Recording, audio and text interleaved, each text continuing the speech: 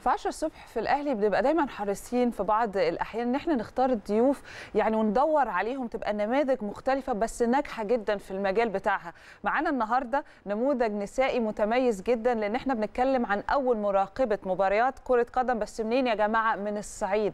فقصة مختلفة وقصة نجاح حقيقي. أنا نفسي من الناس اللي بحب قوي يعني أسمع نماذج زي كده لأن أنا من الناس اللي بحب جدا المرأة أنت عارف ملف أوه، المرأة. أوه، طبعا يعني من طبعا. الملفات اللي بتهمني جدا خلينا نرحب بكابتن رباب الهواري وهي زي ما كنت بقول لحضراتكم أول مراقبة مباراة من الصعيد. صباح الفل. صباح النور. أهلا. منورانا يا كابتن رباب. أهلا بيك. ربنا يخليك. بسم الله ما شاء الله. ده العملية يعني أكبر كمان من مجرد التحكيم. ده تحكيم ووكالة لاعبين وحدوتة كبيرة. اولا عايزين نعرف منك باختصار الحدوتة دي ابتدت إمتى وإزاي وإيه أكتر حاجة شدتك لهذا العالم عالم كرة القدم وتحديدا التحكيم ووكالة اللاعبين؟ تمام. أنا في البداية أصلا شغالة صحفية رياضية في عدة مواقع رياضية وكده. أوكي. أه، حابة مجال الكورة ومجال الرياضي. أه، شغالة بقالي أكتر من ست سبع سنين في المواقع الرياضية وفي الماتشات وبراقب ماتشات وكده. أه، جه ترشيح لاتحاد الكورة إن أنا يختاروني من ضمن مجموعة فتيات للعمل كمراقبة ماتشات وكده. وتم التواصل معايا ونزلت ماتشات ماتش واتنين وكده في الدوري الممتاز للكرة النسائية. جميل طب وبالنسبة لوكالة اللاعبين؟ والله وده برضو دي حاجة ملف عايزة تقيل جدا. عايزة حاجات عايزة متطلبات معينة وعايزة طبيعة طبيعة يعني شخصية معينة. آه أنا طبيعة شغلي إن أنا ببقى لازم موجودة في الماتشات يعني أنا بتنقل من أنا بغطي مجموعة الصعيد عموما فبشوف بروح ماتشات من أسوان لغاية الفيوم مثلا. بحضر ماتشات بشوف بقى اللعيبة. أنا شايفة إن أنا مثلا متمرسة في الموضوع وعيني كويسة في اللعيبة بتابع ببقى شايفة اللعيب ده كويس في مركزه اللعيب ده ينفع يلعب في نادي كذا. أه شغلي في المواقع الرياضية وفي الصحافة آه، مديني كمان آه، يعني لك الأمور شوية بالظبط كده إن أنا. أتواصل مع مجالس الإدارات ومع المديرين الفنيين بعرض اللعيب آه، بيبقى في موافقة عليه تمام يعني. جميل. طيب بصي يا رباب خلينا نتكلم بقى بصورة يعني أكثر عمقا. آه، أنت جاية برضو من الصعيد والصعيد البعض بيعتقد أو لسه عنده الثقافة دي إن الصعيد مغلق. الصع- الصعيد عايز أقول لحضراتكم في تطوير رائع جدا دلوقتي وكمان في الفكر وفي الثقافة بشكل كبير. والمرأة الصعيدية حققت العديد ونجحت في مجالات كتيرة جدا ويعني عايزة أقول لك بيت- بي- بيتقال فيها أشعار. أنا بكلم بجد أنا مش. مش بجاملك. فاعكس لنا المرأة دورها في الصعيد وفكرة كمان إن انت رايحة لمجال مش كومن قوي يعني مش متعارف عليه قوي عندك. برضو كانت ردود الأفعال إزاي؟ مين كان بيشجعك؟ مين كان بيقول أو خايف عليكي مش ضدك كان خايف عليكي؟ والله في البداية أكتر حد كان واقف معايا أهلي. بأمانة من أول أنا اختياري زي ما حضرتك بتقولي اخترت مجال مش سهل. وصحافة ورياضية فكان أول ناس واقفة معايا أهلي بأمانة بيدعموني آه، لا انزلي وروحي ماتشات وشايفين آه، حبي للكورة وللماتشات وكده ابتديت بعدين حوار وكالة اللعيبة برضو نفس الكلام لقيت آه، دعم منهم كبير جدا حلو. آه، في الآخر آه، باقي يعني باقي كل اللي حواليا شايفين إن أنا ناجحة في مكاني و- وبعمل بقيتي تاخدي مساندة من آه الناس بالظبط عندك من كل الناس. اللي حواليا بأمانة يعني حلو ده, ده في جداً. حد ذاته ياكد إن انت بتقولي إن في تغيير ملحوظ في جداً، الصعيد في الفترة صح. الأخيرة حتى على صعيد الفكر يعني واضح من كلامك إن حتى الأهل حتى ما استغربوش في, مجرد إن اختيارك ده مش مش دارج قوي. وخصوصا للفتيات يعني. فواضح إن في تغييرات كتيرة استجدت على الصعيد. برضو فرصة نعرف يعني منك شوية ملامح آه، يعني متعلقة بيها وخصوصا اللي ليها علاقة بالرياضة بصفة خاصة. والله إحنا عندنا في الصعيد الدنيا فعلا زي ما حضرتك بتقول يعني ابتدت تتطور في المجالات وفي الكورة وفي في الأندية وكده. آه، الفكر ابتدى ابتدى يتحسن. يعني هم شايفين إن بيطلع حكمات من عندنا طلعت حكمات طلعت لعيبة كورة في في كذا فريق وكده. كره كرة قدم وفي جميع المجالات كمان وجميع جميع الألعاب. فلا الفكر ابتدى يتطور بشكل كبير يعني.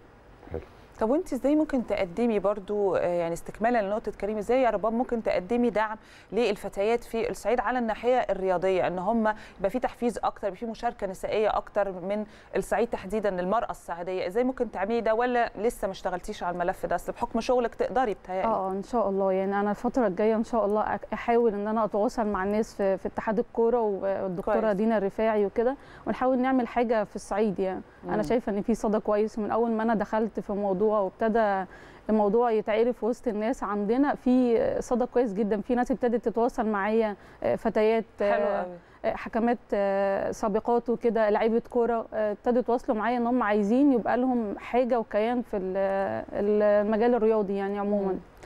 حلو. طب آه، أنا برضو عايزة أفهم حاجة. أنت مراقبة مباريات في آه، يعني كرة قدم رجال ولا آه، ولا لا حاليا سيدات. سيدات. بس آه. عندك طموح للرجال؟ آه هي الدكتورة دينا لما تواصلت موجودة معايا يعني دي في العالم كله. بالظبط. هي تواصلت معانا وقالت لنا إن دي كان مجرد فكرة وبداية كرة القدم النسائية.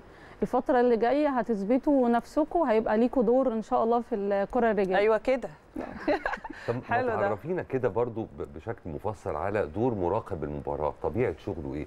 لأن طبعا ال- المتعارف عليه أكتر هو طاقم التحكيم الحكم والاثنين آه. المساعدين اللي معاه وحكم الفار والحكم الرابع لكن مراقب المباراة إيه طبيعة شغله هو أنا طبيعة شغلي إن أنا مثلا ببقى جاية بشيك على أوضة اللبس في الفرقتين okay.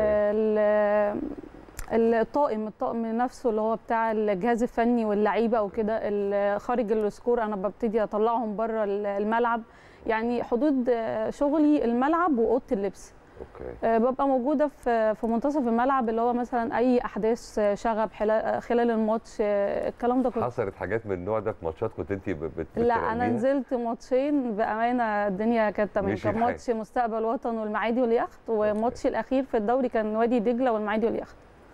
كانت الأمور تمام يعني.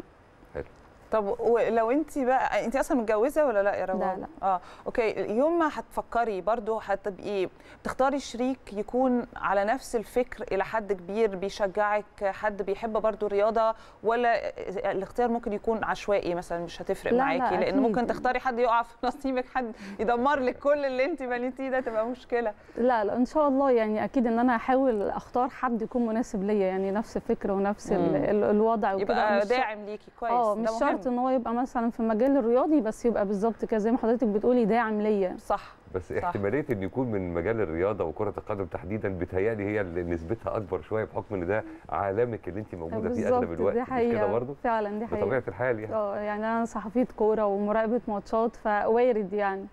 أوكي. وفكرك لو حصل لو لو النصيب فعلا كان مع لاعب كرة قدم متخيلة الدنيا هتبقى ماشية ما بينكم إزاي؟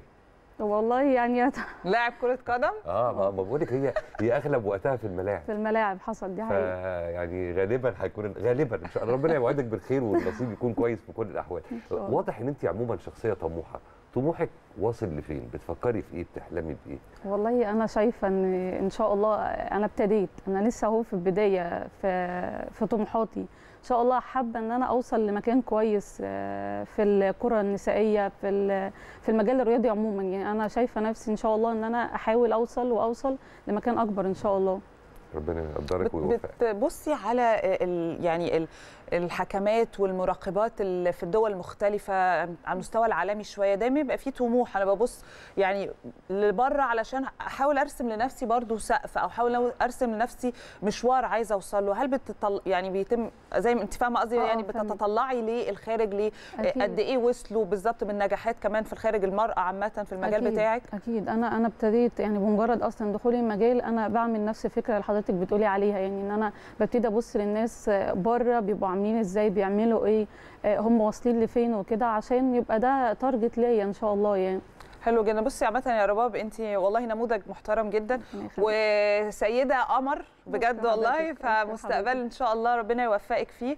ولو أنت حابة برضو يعني تقولي حاجة للناس قبل ما نختم مثلا رسالة توجهيها لفتيات الصعيد تحديدا. أصل أنت بتتكلمي في ملف مهم جدا وعايزة أقول لك الصعيد دي بتخرج يعني أبطال. أنا بكلمك بجد وشفنا ده في الفترة اللي فاتت وشفنا ده كمان تحديدا مع الرجال أكتر. بس لو أنت حابة توجهي رسالة لأهالي الصعيد تحديدا لشق الرياضة الاهتمام بالرياضة النسائية فأحب أنا كريم نختم معاكي بده يعني. والله أنا أتمنى أتمنى إن أنا أكون خير مثال للفتاة الصعيديه إن أنا أبتدي يعني أكون أهو واحدة طلعت من الصعيد وعملت حاجة وهم شايفين قدامهم. وكده أتمنى إن أنا مثلا يبقى في غيري بقى الفترة الجاية حد واثنين وثلاثة في, في المجال الرياضي وأنا شايفة أصلا في اهتمام بالعنصر النسائي دي الفترة حقيقة. اللي اللي فاتت فأتمنى إن أنا أشوف كذا حد زي طالع من الصعيد يعني دي حاجة تفرحني وإحنا كمان بنتمنى الصراحة لا بجد رب. ربنا يوفقك يا رباب وبنشكرك على وجودك. معانا وبنتمنى لك كل التوفيق في اللي جاي بإذن الله بشكر حضراتكم ربنا يخليك. شكرا ليك.